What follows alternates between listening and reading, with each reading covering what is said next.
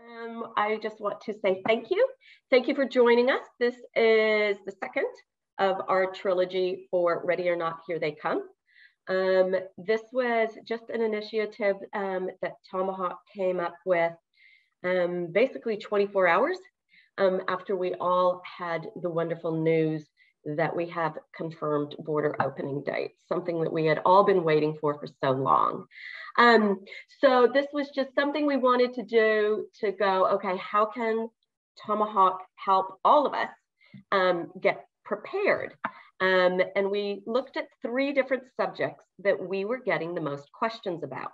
So we were getting the most questions about how to find staff, how to be digitally um, prepared. And then next week is the third and final one with the third category everybody keeps talking about is, so our borders are open, how do we welcome people back? How do we make sure our team is safe? How do we make sure our guests are safe? And what do we need to do differently? So that's next week's one. So thank you for joining us. We hope you get value out of this. And we have Dave on board, so fantastic. We've got all of our speakers here today. So let me start off by saying thank you very, very much to our three speakers um, who are very generously donating their time um, to share their insights today. Um, we have Renee Goodsell, the head of um, digital here at Tomahawk. We have Trevor Topfer, who is head of marketing at Otterfish, which you guys, if you haven't heard about Otterfish, will learn all about. And the amazing, if anybody in tourism doesn't know, Dave Simmons, um, who has had an illustrious career in tourism. Too many, too many for me to name. You make um, me sound like an old dude. Uh, That's okay. I'm still the oldest one on the call, so you're a youngie. Um, but your current role right now and why we even invited you for your insights is you're the strategic manager um, at JUCY and Juicy's Cut both um, an operation in New Zealand and Australia. So we thought there might be some great stuff that you can share with us today. So thank you to our invited guests. Thank you to all of you. Hi, Rima. I just saw a wave. Um, and what I would like to start out with today, you guys, before we get straight on to the subject, is a little bit of good news that I've had, um, we've probably all had a lot of pleasure reading lately. And that is a lot of reports that have been coming out, a lot of reports that have been coming out whether it's from Skift, S-K-I-F-T, if you don't um, follow Skift, please do. Um, from Skift, um, Expedia is doing a lot of reports, Forward Keys, which is another data um, um, aggregator um, across tourism. They've all been coming out with quite a few reports lately, and it has been really positive. Now, forgive me while I read these, but I wanna get the numbers right. So, according to Forward Keys, that's a data aggregator, you guys, across all sorts of internationally. And what they're seeing is a really great recovery already for those countries who have opened their borders. And so, for example, India, who's done a great job really announcing and being clear about their border openings and um, restrictions or lack of restrictions, they have recovered 80% of their 2019 numbers already, um, which is fantastic. Closer to home, Fiji's already seeing a recovery of forward bookings of 61% of their 2019 bookings. Amazing, right? Australia's already got forward bookings enough of, oh, I didn't say that very well. Their forward bookings show 38% um, recovery from the 2019 numbers.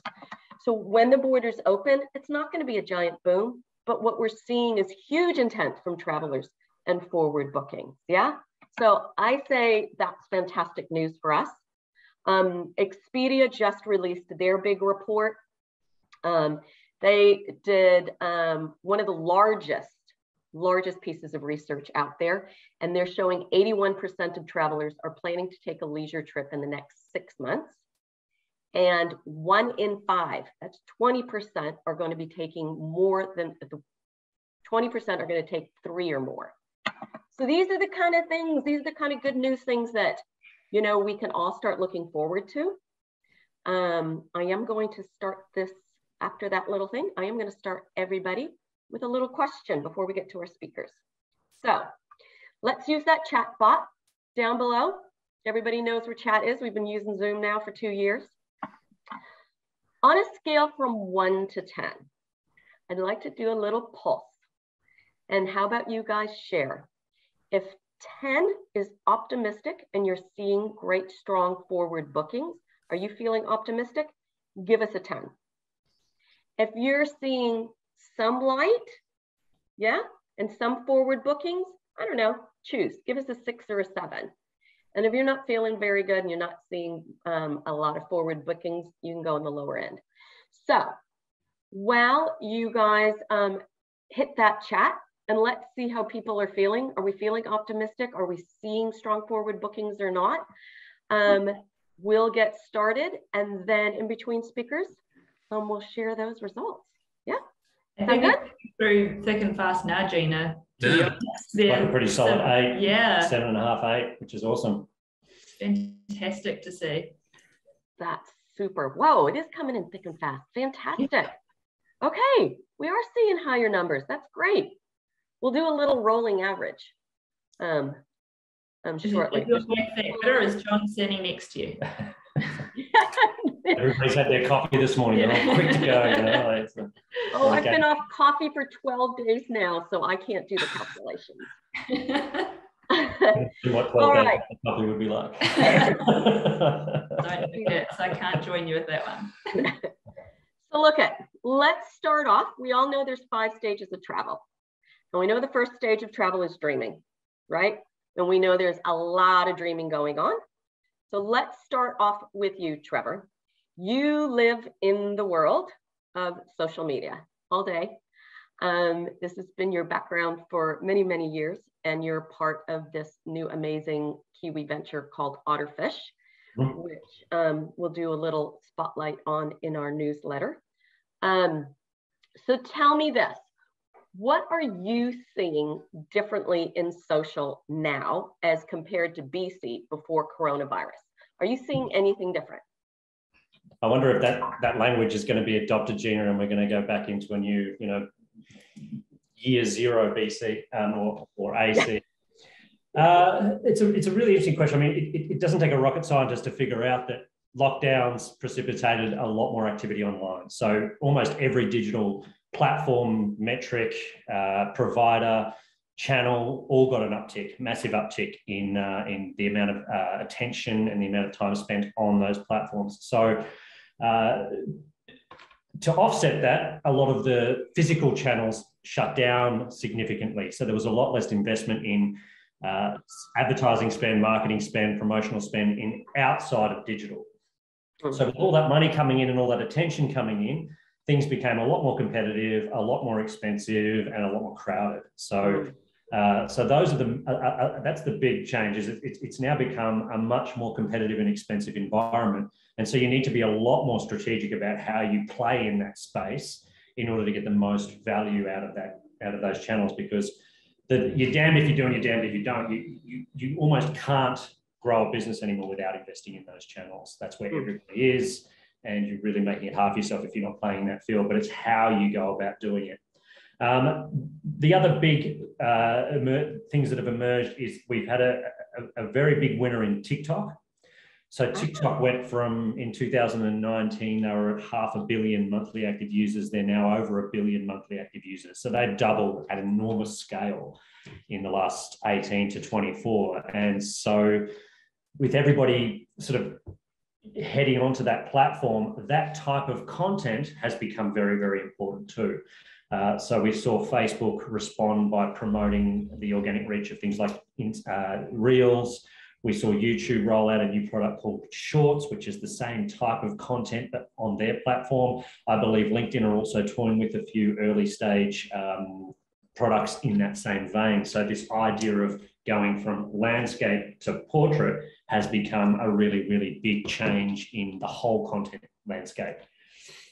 So that is okay. There was I just wrote down so much. That was amazing. So so one of the changes that people um, need to be aware of is that before we were always talking about landscape and big and dreamy. So now we're looking at video that's portrait. Mhm. Now we're talking about video, um, but TikTok is just also extended the length of their videos. So are, are you seeing anything there in regards to what was normally shorts, you know, reels and short? Is it is video getting longer on social media? Absolutely, yeah. Uh, I mean, it, it, plays to the the algorithms and the goals. If you think about it, if you are Facebook or TikTok, your ultimate metric is time spent on platform, right? So you want to maximize the amount of time that people are spending on platform. So if there's content that's keeping people engaged and keeping them on platform, you're going to reward that content. So they've got a bunch of little metrics in place that trigger the algorithm to say, hey, this is content that's engaging people. It's keeping them on the platform. So these new metrics, like things like dwell time, is, is one of these ones that I've. Oh my God! Is that why all the videos go? Wait till the end now. Yeah, yeah. You know? and, and, you get these crazy videos where it could have been done in ten or twenty seconds, and it's now stretched out over ten minutes, and it's boring as hell. But you've got this sort of, uh, you know, one of these clever marketing tactics where they open up a curiosity gap. So you immediately you see the video and you go, oh, I want to know what the answer or the end of this is, and then you uh, sit there for ages and ages watching mindlessness, and, you and think, so you oh get gosh, that that, that, that, that curiosity. Life, I'm never going to get back from it. yeah. So, so, so the short answer is yes. Nodding his head, Dave. Have you have you had experience in this already?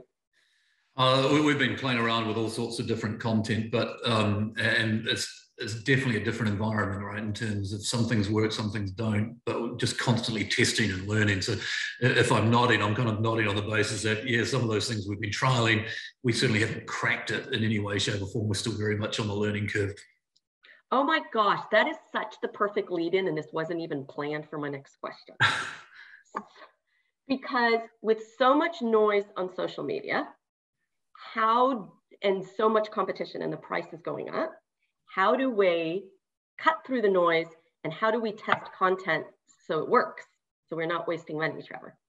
Yeah, uh, really, really good question. And the answer is probably not going to sit tremendously well with everybody. But the, the stark reality is these platforms have gotten expensive and attention has gotten much more expensive. And so you kind of got to pay to play now.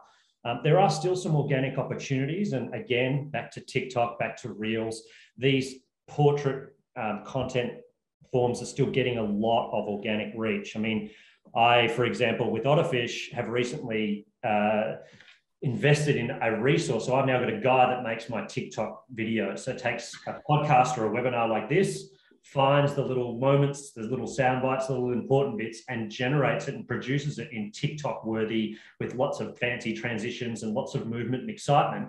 So he optimizes that piece of content for TikTok and I'm getting more than 10,000 views on uh, one of those videos, whereas I before was getting hundreds, maybe thousands if I was lucky, just by editing the, the video and optimizing it for that channel, I'm getting a lot more organic reach. So there are still organic reach opportunities, but the stark reality is we now need to pay and test and you know uh, pay to amplify and understand what's working. So uh, which is very fortunate for us at Otterfish because that's what our tool does but it's actually a, a trend whether you use Otterfish or you or, or, you do it directly into the platforms or use another tool.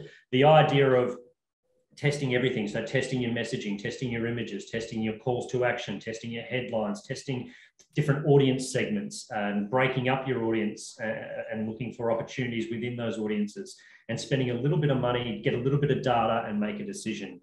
Uh, you know, we're almost gone are the days, and if you're still in this sort of mindset where you build a campaign and you go, this is going to be our campaign for the next month, two months, three months. This is the message. This is the market. This is the spend. Off we go. It's you're just throwing that money away to a large extent, or you're rolling the dice and hoping that you you you happen to luckily get it right. Uh, but if you're not testing and then trying to understand this stuff, how do you even know if you got it right? Like you might be happy with those results, but you, with a bit of testing, you might have been able to massively improve those results and get even more from that spend. So testing is, is become very, very important. Wow. The other thing, which is not related to testing and spending a little bit of money, which I'm sure we're going to get into more, um, another kind of organic but a hard work, one of these earned channels. So in marketing, we speak about paid, earned, and owned.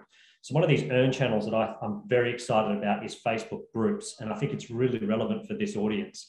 So midway through the pandemic, Facebook turned around and said, hey, we're Meta. And, uh, and whilst most people sort of went, yeah, good on you. That's a great marketing ploy. You, you, you got our interest for about five minutes. It doesn't mean anything to me. And we move on and I go back to opening up Facebook. what that what they did was they signaled that the future of that business and the future of the platforms that that business owns is going to be in the metaverse. And the other thing that they very quietly have gone about doing is elevating the so uh, the the reach and uh, what's over indexing, I should say, are Facebook groups. So the metaverse lends itself to more immersive environments like we're in right now. So if you imagine this in a kind of metaverse environment, we would all be much closer and more engaged, and it would be this sort of much more uh, immersive, almost three-dimensional experience. What Facebook's leaning towards to transition themselves into that world is Facebook groups. So you're almost better to post in a group now than you are on your own page. Mm. You'll get more reach from that message. You'll get more eyeballs on that message if it's within a group. So join groups that are relevant to your business, product, service, whatever. But more importantly, create groups. That's mm. so interesting, Trevor, because mm. we've actually been doing that for some customers, especially um, uh, accommodation providers that want to talk to um, overseas agents. We're actually they're actually creating agent groups where they can talk to them directly and open that. So that's fantastic that you yeah that you brought that up. Yeah, you've got to look at it like it's like you're building an email database list, right? You've got to plot away, get the right people in there, keep them engaged.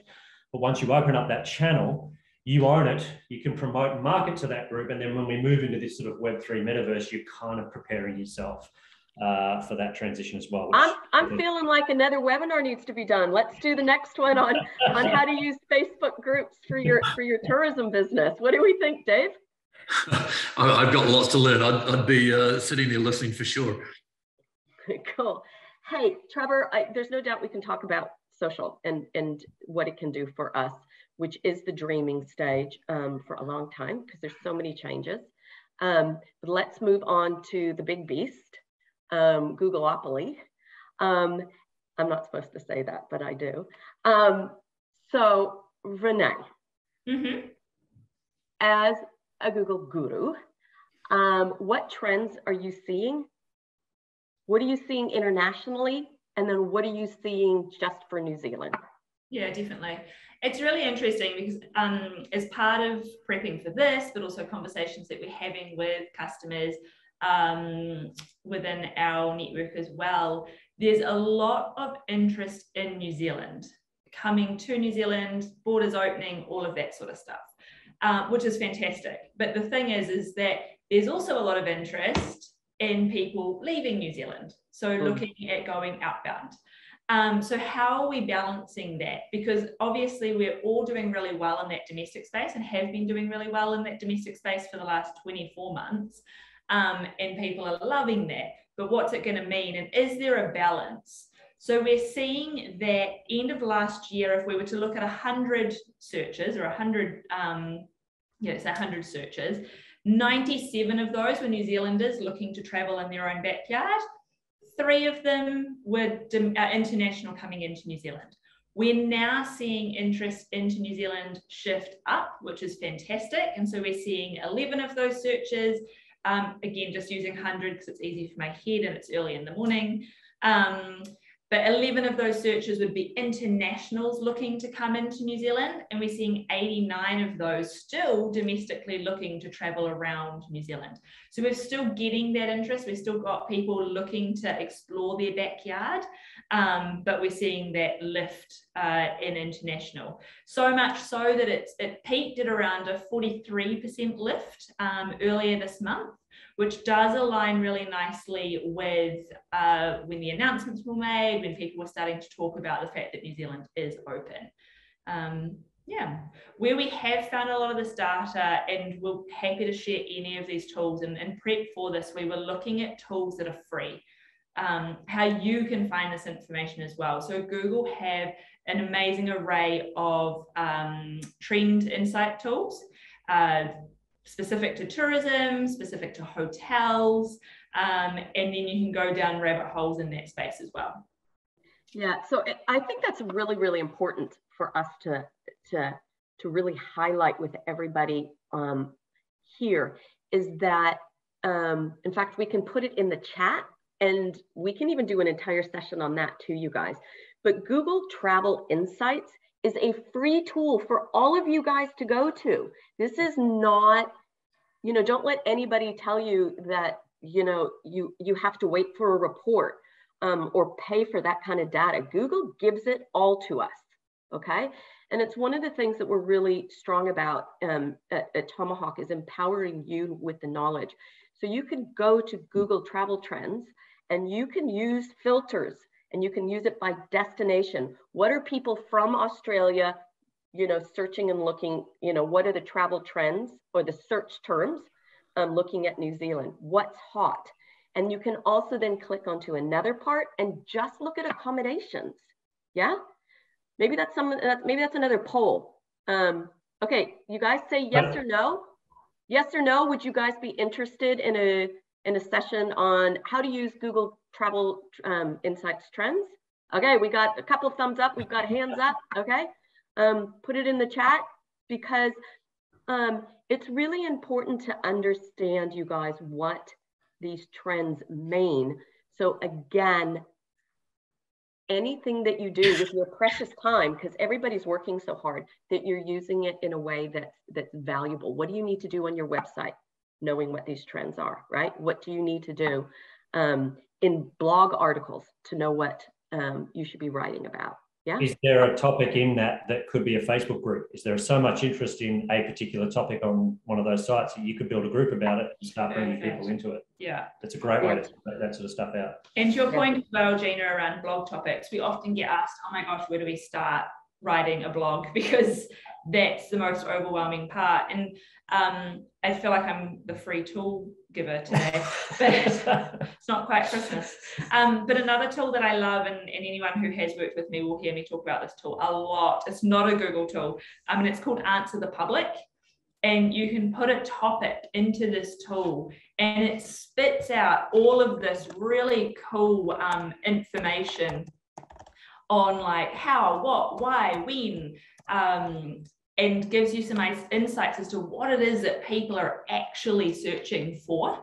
Um, so I chucked that in this morning, so I was able to get some fresh um, information, and I am going to refer to my notes because my memory is not that uh, not that flash. Um, but when I looked at Travel New Zealand as quite a broad um, broad theme, the main part was around travel restrictions. So people are still actively looking and wanting to find what restrictions we do have in play. By all means, not expecting any of you to become experts in that field because we've got experts that have that information. But making sure that on your own website, you've got this information that mm. leads people to the right place to find what it is that they need. So, any marketing that you are doing, anything you are doing in social media, um, to get your brand out there, that when they are coming to your website, they're called like, cool, dream check, I'm going to New Zealand. Um, dream check, I'm going to go and stay at this lodge. But actually, can I? And so, by you becoming a thought leader or providing that information or a, a path to find that information is going to be really helpful and give them confidence in the fact that, yeah, you guys know this, you're helping me, you're part of my journey. I do want to support you. Um, the other really cool thing, so restrictions aside, because that topic can get boring fast. Um, another really cool thing was people were asking still when to travel to New Zealand. So when is it a good time? So making sure that you've got content on your site that talks about the different seasons. If you are in an area that is very seasonal, um, and has some really cool autumn colors, beautiful spring, yada, yada, yada. Talk about that. Put content on your website, share um, content on your social, add it to the group. Um, they're looking for trip ideas, itineraries, planning. Uh, Dave, you'll like this one, but they were asking about camper vans. That popped up a couple of times. So, um, you know, how can people travel around New Zealand? And then another really cool one, which I loved um, and I think is really important, and especially for anyone who organizes travel for people, um, is that people are searching for traveling to New Zealand and Australia or traveling to New Zealand and the Cook Islands. So we saw this pre-COVID BC that, you know, a lot of people travel to New Zealand and Australia together and they're still looking to do so now. So if you are planning those trips or if you have a sister property or a sister brand or business, again, uh, Dave, you're front and center because you're on my screen, but um, how do you package your combo? The fact that someone might need a rental car in Australia for the first half of their trip and then uh, come down to New Zealand and finish their trip and also leverage the JUCY brand as well. So it's about, like Gina and I spoke about at the start of the all of this, about collaborating, working with each other, talking to operators that you have got um, uh, things in common with so that you're working together, not all trying to fight for the same piece of the pie. Well, that leads perfectly into Dave. so Dave, the, the nice thing about being the last speaker is that they've all shared all their insights and you get to now share yours and, and really highlight what they've said, seen. So as a, as, as a, an amazing strategic brain, and as the leader of a company that is in both New Zealand and Australia, what have you learned since Australia has opened that you can share and that you'll be leveraging for New Zealand's opening for your company? That was a big yeah, really good question, Gina. The, um, you know, the, the one thing I'd start by saying is that you know we're we're at a standing start. If you think of a Formula One race, cars are racing around the track, and we're just coming out of the pit stop right now. The, this is the, the the global tourism market. To your point, Gina, is roaring back into life. Uh. And, you know, we are at the very end of the queue. You know, we're, yeah. we're at a standing start, uh, and so you know you got to get the hustle kind of thought process and we, have got to hustle to fight to get market share to get customers back down here. And we need to be moving hard and fast. Let me give you some insights from australia and it was interesting last night just prepping for this um, and it kind of surprised me a little bit. We know that australia's bounced back strongly from a JUCY perspective. We've got cars and campers over there. I looked at um, uh, the same period for, for march point of sale uh, 2019 versus this current month. We're 113 percent of 2019 currently, 140% on value, right? So Australia has raced back to life uh, in particular markets. Now, some of that value is coming from higher average booking rates. A car hire, for example, has doubled uh, in terms of your average daily rate is doubled. So the market is roaring back into life. And, and you know, the concern I've got from an industry perspective is I think we're all kind of thinking we've got to put our slippers on and start kind of going and get our makeup on and get ready to kind of get prepared. The market is racing, right? And as New Zealand is a destination, we've got to be out there hustling collectively. Otherwise, we'll miss the share of the market that we deserve. Uh, I love that you're saying that. And that's why we named this Ready or Not, Here They Come. So yeah. whether you're ready or not, they're coming. So I love well, that. Let, let, me, they're traveling. Let me put it that way, Gina. Yeah. Ready or not, they're traveling. New yeah. Zealand's got to make sure we get our share of the market because yeah. right now we're not out there punching hard enough. And then within that, as operators, we've got to make sure we get our share of that as well. So um, it's it's moving super fast. Uh, no shadow of a doubt about that again, another interesting insight from the Australian market is lead times. Uh, your average lead time uh, for that same period, two years apart, 14 days two years ago. It's 54 days right now. So we yeah. are beginning to see that European market come back down, making bookings, uh, committing um, for extended periods of time as well. So we're super positive around how that translates across into New Zealand. Um, in terms of what we're doing differently, um, we really have turned things upside down. And uh, I, I, kind of smile. Renee's been on the on the end of some of this for the last 18 months or so. But we've been very deliberate about you know having to think differently about the business. To be honest, I think a lot of tourism businesses pre-COVID, you know, it was it was getting pretty easy to be honest, right? Um, the last two years has been anything but, and we've had to turn things upside down. What we've done is we started by really understanding our customer, you know, and being really myopic around who is our customer that engages with our brand and our product, and really spent some time understanding that, and have been very deliberate about how we connect with that customer. And anything else is noise. You know, we got I had a proposal come through today, re sponsorship. It's like it's so easy to say no when you're really clear around who your customer is. So that's kind of first bit. And then we, in some ways, and apologies, Trevor, we, we turned the funnel upside down a little bit um, in terms of we, you know, we didn't have the luxury of kind of spending money in terms of at the top of the funnel, in terms of building the pipeline. So we had to get really myopic around conversion point you know what worked getting really disciplined around um, your cost of sale uh, what channels work for us which channels don't um, and which ones convert and which ones don't so as an example for car hire, actually, it's so much more cost effective for us to lean onto the online travel agencies uh, because it's a flat fee that we pay, right? Whereas if we're playing in the dreaming sort of direct space, let's say, it's all over the show. We don't know from one month to the next in terms of what the cost of sale is going to be in there. So we've been very deliberate about the channels that we've used and really making sure we've got the disciplines in place around what we're spending is then converting into dollars in the tin. We haven't had the luxury, and you know, no tourism business has, has had the luxury of you know, being able to spend money without real confidence it's going to convert into if you spend a dollar, you're going to get two dollars back. So we've got right back to those sort of basics of being you know, treasuring every dollar we're spending. And as we start stepping forward, we're starting to step up that funnel a little bit. So instead of starting at the top and hoping like heck it comes through, we turned it up the other way and made sure that what we were doing was converting.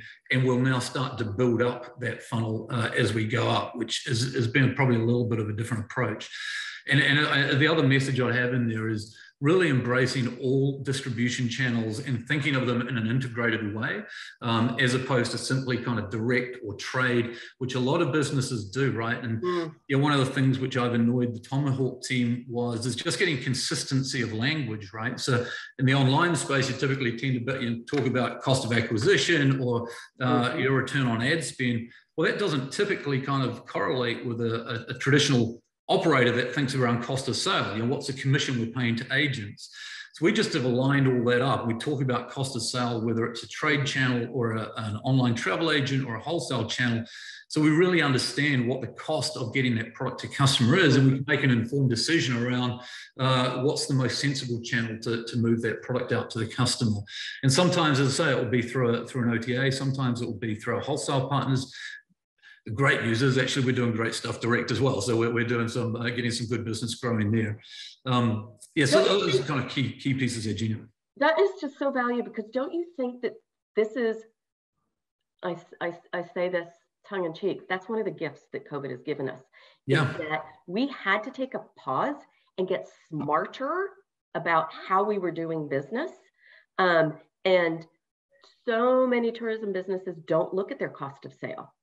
Um, they don't, they think, okay, I pay a wholesaler this, I pay um, um, an, an, OTA this, um, I pay this much for marketing. But what are you willing to spend in order to acquire um, a customer? And because, as you said, they were coming in before, so we didn't really think about it. Well, um, mistake I think most businesses make, uh, uh, Gina, is they'll, they'll think about their kind of direct marketing cost is a marketing cost. Yeah. And it'll be you'll have a monthly budget that will say we're going to spend five thousand or ten thousand or thousand or whatever the case might be on marketing, right? Um, whereas actually, when you think of that as a cost of sale, if you can get your measurement right, you move it up above the line as a cost of sale. And as, as I say to kind of Renee and the, the, Tomahawk team, I don't care how much you spend on Google AdWords, so long as it's sitting at sort of less than 15% cost of sale, keep yeah. going. If you spend 30,000 or 50,000, I don't care. But yeah moving that from being a budget line, yeah, where you go, we can't spend more than 5,000 because it's in our budget line. Um, that would be like saying we can only spend 5,000 on travel agents. And when they you hit that, we go, don't sell anymore. No one yeah. does. That's a very good analogy. That's a really, really good yeah. analogy.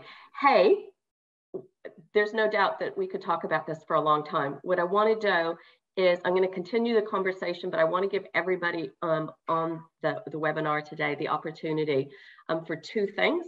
Number one, you guys, we've popped the link to, to the Google Travel Insights in the chat. Feel free to look at it yourself. Um, but I also see that some of you guys would like some insights on how to use that and how to understand it better. So we'll have a look at that. But let's use that chat right now too. Do you have any questions? Do you have any questions that you would love to ask about Google, about social, um, Dave's amazing strategic brain and what the, he's doing. Um, and while those are coming in, I am going to ask another question. So Trevor, um, in a couple of minutes, um, you brought up the old TikTok, which a lot of people have been going, oh, that's just for dancing. Um, this it's not a business platform. Um, are you seeing conversions? Are you seeing anybody in tourism that's doing it well? Do you think Renee's going to bring up Pinterest? I can tell you right now when I open up this question. Are you seeing any other platforms, Pinterest, Clubhouse, that should be used? And that's to Trevor, Renee, and Dave. Do you guys have? Can you guys approach that? Trevor first.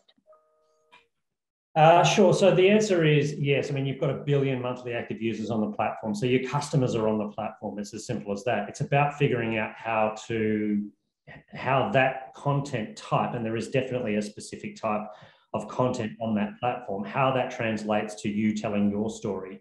Um, you know, Dave brought up a really, really important point, which I which I was hoping to get to, but I know we're under time restraint, which is all about understanding your customer or, or your key personas. So really, really becoming clear on who those personas are that you're targeting. And as he says, ignore the rest of it as noise. And if you understand who those people are that you're targeting, you can then look at what's the type of content on that platform that those people are consuming and how do, how do I make my, or how do I tell my story through that lens? Yeah.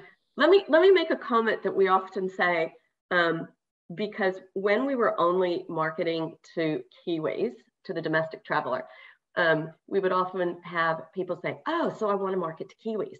And we're like, yes, but who, which Kiwis, where, right? And that goes to Dave's conversation about being myopic. And they're just like, all Kiwis.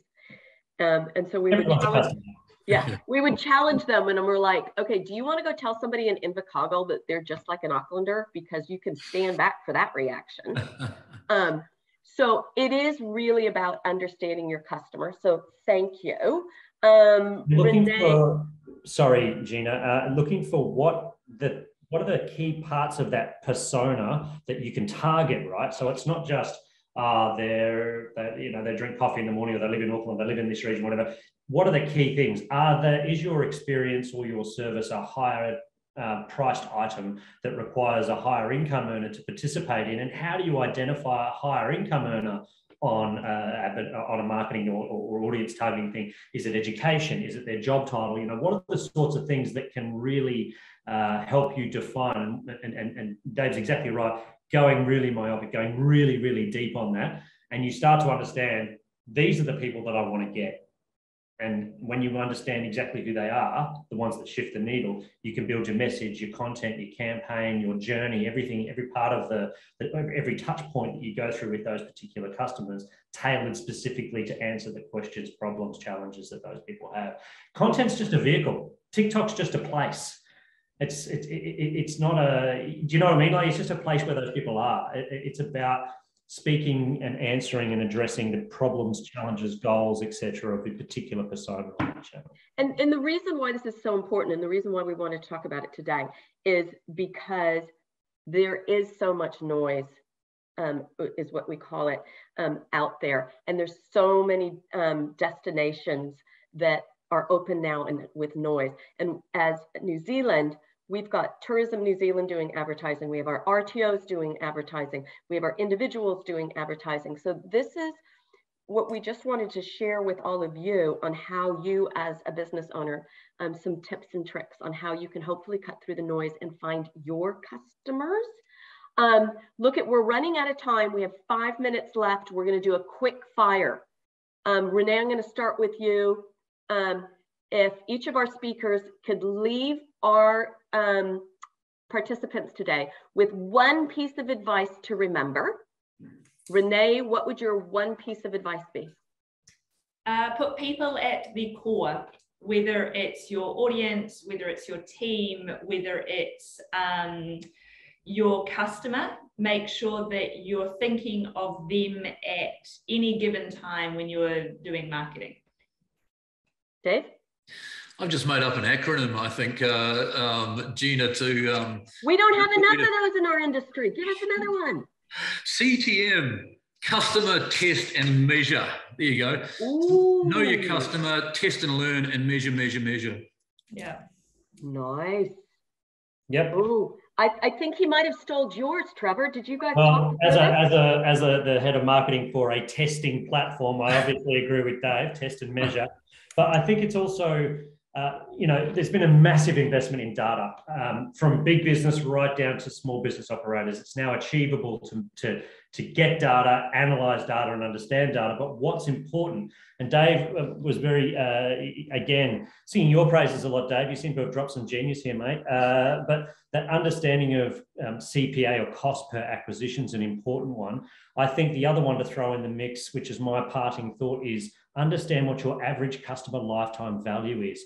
If you don't understand what your average customer lifetime value is, you don't know how much you can afford to pay to acquire a new customer. Yeah. If they, you know, you might have a, and a lot of people get that wrong because they look in a 12 month window and they say, oh, my customers spend $1,000 a year. Well, what if they last for five years? That's $5,000 that an average customer is worth to you. And you might be able to spend a hell of a lot more than you realize oh, acquiring one of those customers. So it's definitely a number we need to be talking about. You have yeah. goals to achieve. Yeah. Yeah, it's definitely a customer, I mean, a number we should be talking about across tourism. Um, but that's for another day. Hey, um, thank you to everybody um, who joined us today.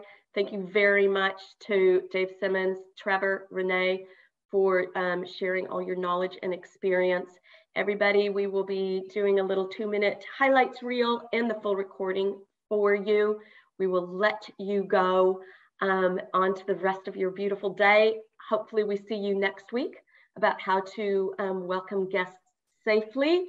Um, and yeah, let's share that we're open, you guys. Let's start making as much noise out there that New Zealand's ready to um, share our beautiful country with people again. So, kia ora. Thank you very, very much. Cheers, everybody.